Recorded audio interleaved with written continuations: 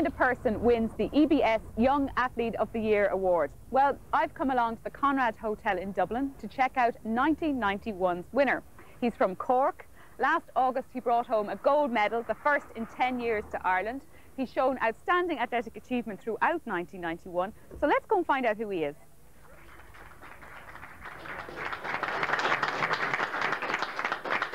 We have with us here Mark, this year's champion, and we in the EBS are delighted to be associated with this and to thank BLE for their support as well.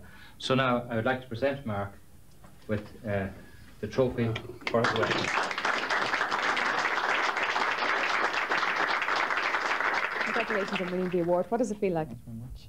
Uh, very happy to be uh, rewarded with the award by EBS. Uh, it's great, gives me motivation to get back into training and try and win some more. Now, what are your goals for 1992? Um, well, I'm going to drop down from 5,000 metres to 1,500 in a mile. I'm going to run a mile indoor and 1,500 outdoor.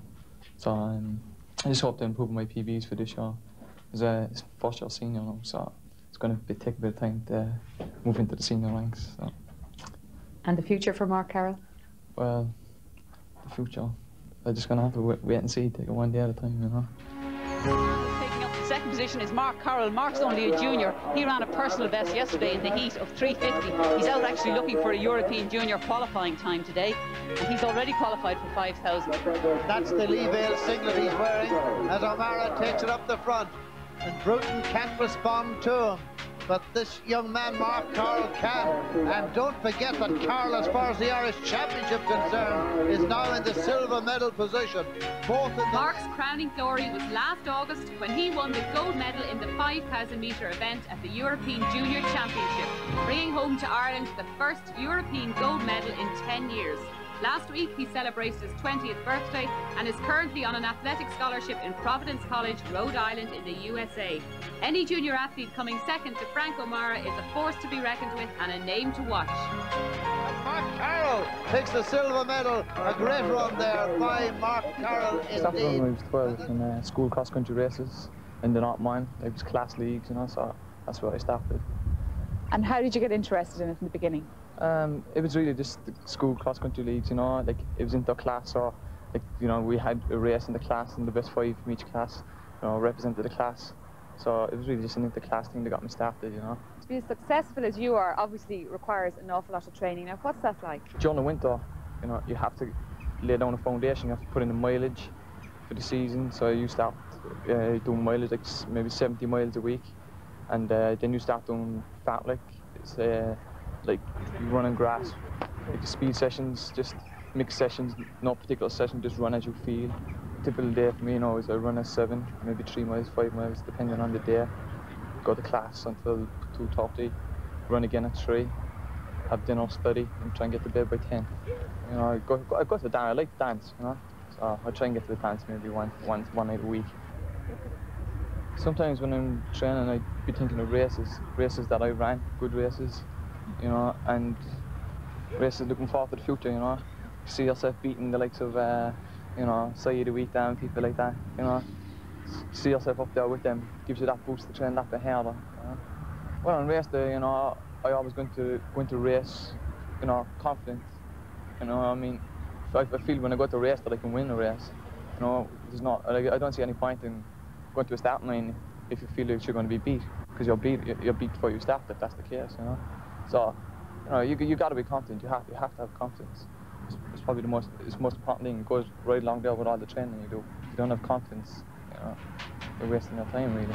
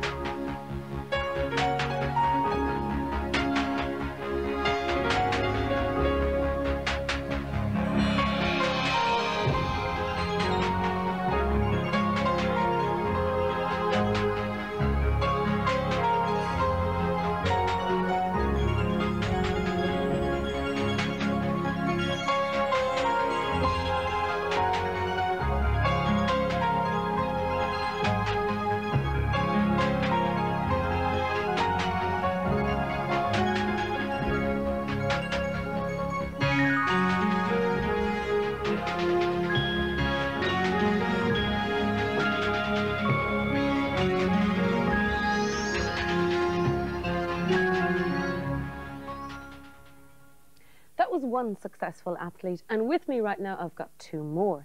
Nick Sweeney, the Irish discus holder, currently studying at Harvard University and pursuing an athletic career, and beside him, Donal O'Sullivan, who's on the Irish junior panel for World Cross Country Championships, which are coming up in Boston, and yesterday won the title of the Leinster Junior Cross Country Champion.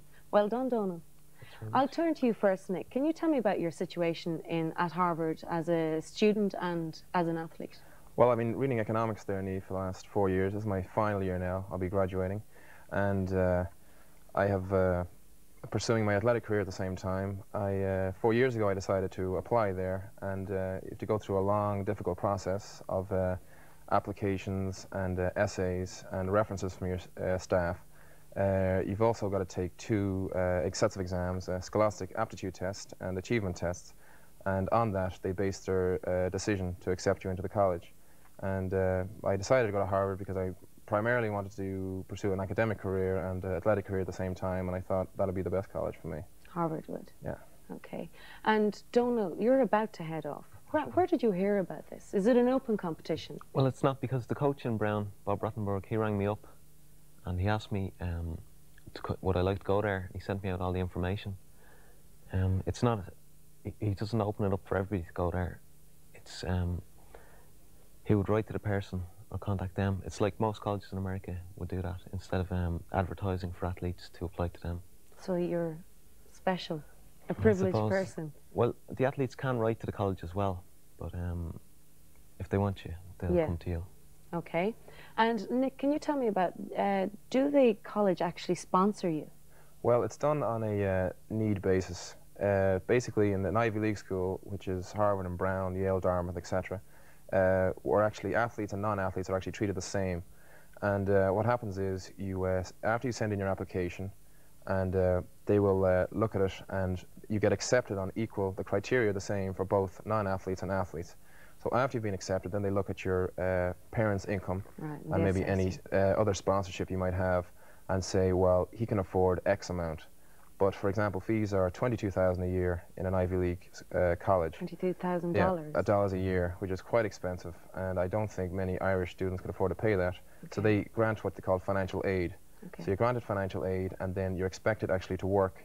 You're expected to take out loans, and you're also uh, expected you pay these back then after you graduate. So right now you come out owing a minimum of ten thousand dollars after school, and as well as working during college and your parents' financial contribution. So it's by no means it's a quite a difficult situation. It can be, and be prepared to to, to have to work and everything to finance your education. What do the college get back in return for all of this interest and money they put into you as well, a student and an athlete? As a student, as a, well, as an athlete, when you go out and you compete, uh, obviously if you travel around, you travel around the length and breadth of America with, with your team, and uh, you go to Texas, been to California, you represent your school, and it's kind of like a PR job. So you're out doing well, they see you visibly doing well, and they say, well, he's going to Harvard and the rest of it if he gets a write-up on a paper, and that's good for the college. Good for the college. But basically they like to what they like to do is, uh, it's like as I said, we're, we're, treated the same. So they just like you to when you do graduate, and there's a lot of foreign students there. You actually go abroad, home, and then you'll spread the word that the good, news. the good news that you had a great education and we'd like you to apply, that kind of thing. Okay, so how about advice for Donal? Maybe you could also tell us on a day-to-day -day basis what you do get up to. Well, Donal's in for a hard time. He, I don't know if he knows it yet. He's uh, going to have to spend about 16 hours a day doing, uh, between his training and his studies. A basic day would consist of up at 7, and you have your breakfast, maybe do a bit of light training. I know Donald said he trains twice a day, and uh, some days, you know. So we'll do it, uh, breakfast at 7, uh, uh, go out, I'll run, I might uh, throw in the morning or do a little lifting. And then you go to your classes, which are usually four to five hours long. And then you do one o'clock, you grab lunch. One, then 2.30 practice starts. And then you're 2.30 to 6.30, you're actually training, a minimum of four hours. Busy day. Very busy day. And then you get back and you're, of course, have Relax. to study. study, do your homework, which is very hard when Cheers and Bart Simpson show is on, and what about get three hours in. What about actually if you have any problems, you're not up to the study or you're not up to, you know, the track? What happens then? Do they kick you out? Well, there's no there's no pressure to run at all. I could go over and give up running straight away as soon as I get into Brown. Um, the academic pressure you have to perform. Um, you have to pass so many exams before they will let you run. I think Nick knows more about that than me. Okay. Yeah, there's basically, as I said, it's great there because it's not a sports scholarship as such. So say you do get injured or you decide to pursue another uh, interest, it could Mm-hmm. be music or drama or something like that, you can just explain it to the coach and uh, they'll say, that's, that's fine, you know, you're here to do a lot of other things, not just track and field. Okay. So it works out quite well that way. Okay, so it's a good experience all round. It's a great experience. Well, yeah. the best of luck to you, Don, going out, and thanks, Thanks very a much. for coming Okay. in to both of you. Thanks a lot. Thank you, Niamh. Susan. Right, it's Yamaha Jo Maxi Rock Award time again. Now, this 3,000 quid's worth of gear is the prize, and there are three ways of voting. There is you, the viewer, there is us and Yamaha, and of course, there is the rock panel, who will be in again in a few weeks' time. Now, if you do want to vote for the band coming up or any of the ones you have seen, send us detailed letters only. We don't want postcards. The band coming up are from Cork. They are going down a bomb at the moment in England. They're called the Sultans of Ping FC, and this is Where's Me Jumper?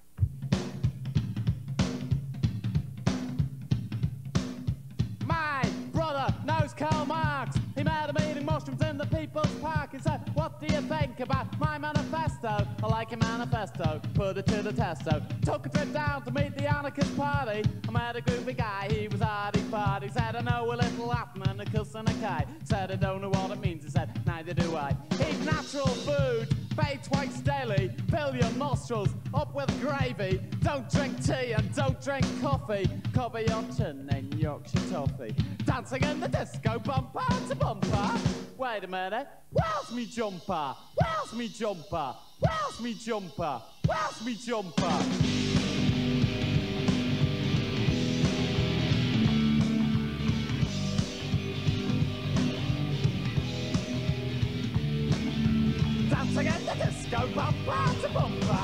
Wait a minute, jumper? Where's jumper? Where's jumper? Where's jumper? Jumper? Oh no. Dancing in the disco. Go, go, go. Dancing in the disco. Oh no, oh no, oh no. Dancing in the disco. Go, go, go. Dancing in the disco. Oh no, oh no. Dancing in the disco. Bumper to bumper. Wait a minute. Where's me jumper? Where's me jumper? Where's me jumper? Where's me jumper? Where's me jumper? It's alright to say things can only get better. You have lost your brand new sweater. Pure new wool and perfect stitches. Not the type of jumper that makes you itches, oh no. Dancing in the disco. Go, go, go. Dancing in the disco. Oh no, oh no, and my mother will be so, so angry. Hmm. Wish I was writing it in somewhere. The Ribena berries have discovered a great new taste.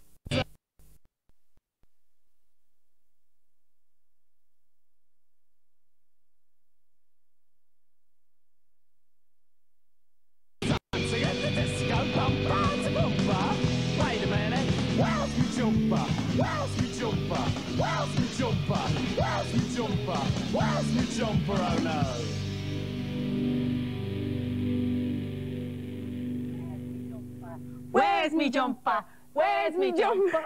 That's not it. jumper. well, the Sultans have just signed to Rhythm King Records in the UK. But Rhythm King are now here in Ireland, and to let us know that they are here with a bang, they have given us four packs of five of the hottest 12 inches around at the moment dance music, all special editions, plus a Rhythm King t shirt. Now, Now, if you want to win one of these packs, you've got to be able to identify the track coming up by Moby if you can.